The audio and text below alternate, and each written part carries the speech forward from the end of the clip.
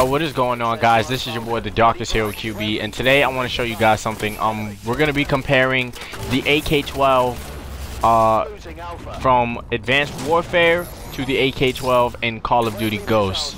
And um, my argument is that the AK-12 base version in uh, Advanced Warfare is bad compared to the Ghost version. The Ghost version kills within a few shots, as you're going to see in this gameplay. Excuse the KD. I was not focused on getting a good KD. I just wanted to show you guys the weapon in its entirety. I didn't care how many times I died. I really wasn't focused on that.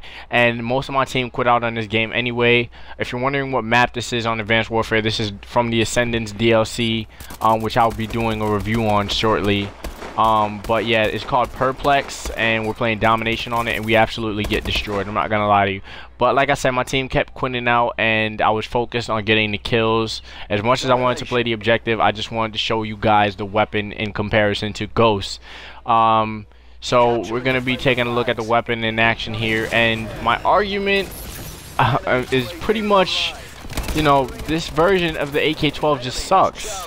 Now, you could argue that because there are variants in the game, such as the RIP and the finger trap, maybe that's why they don't want the, the, the, the, the variation of the base version of this weapon to be powerful, but there's still no excuse. I mean, you know, they have to draw the statistics for these weapons from some type of reference and I'm pretty sure Ghost was the only one that got it accurate because in Ghost I really feel like the weapon kills the way it should. As opposed to this one, it feels like the weapon is fucking shooting marshmallow rounds. And you can even hear it in the sound of the weapon.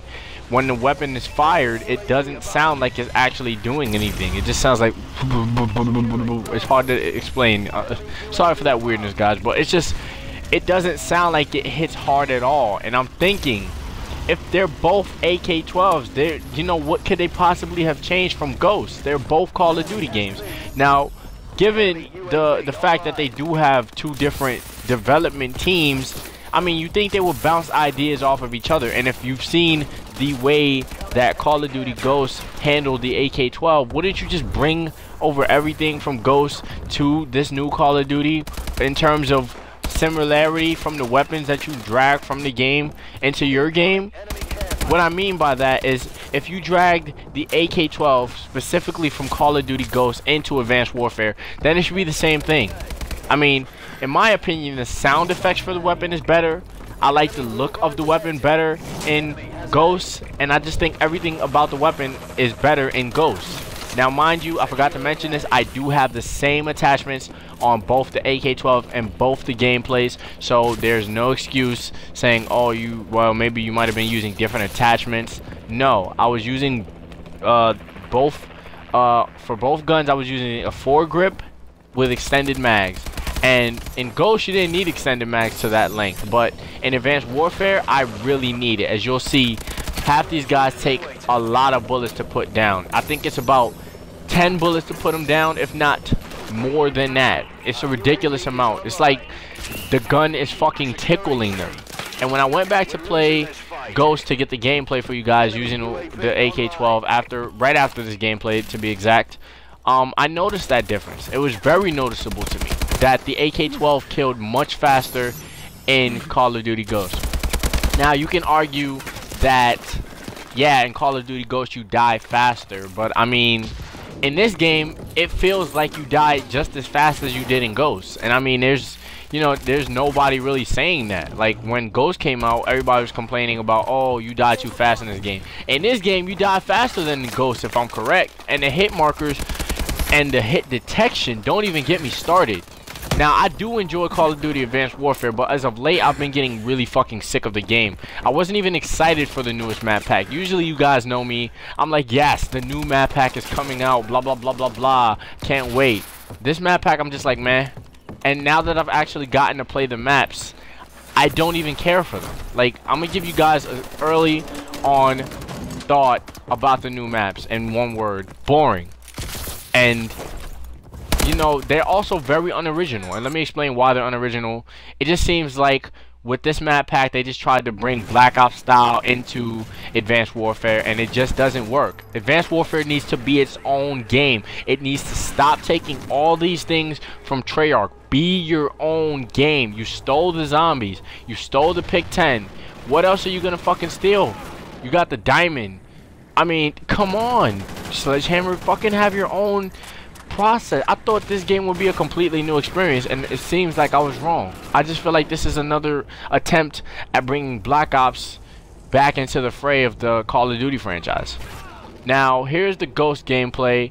Um, as you guys will, will, will notice, the gun kills incredibly fast. I mean, there's times where I'll fuck up and I might miss some shots, but I know when I'm missing those shots. I know and I see when I'm missing those shots. When I'm on target, the gun kills the way it should it, it should be killing. I'm sorry, I can't speak today.